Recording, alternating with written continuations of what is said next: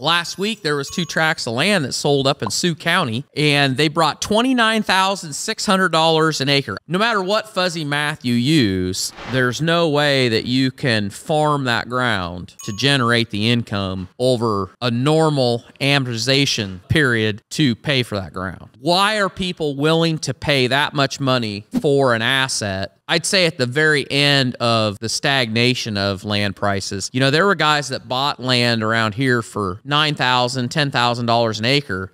And everybody said, well, there's no way they'll ever get their money out of that. Okay, one, if you pay $29,600, will you get your money out of it? So, my question is, why are people willing to pay that?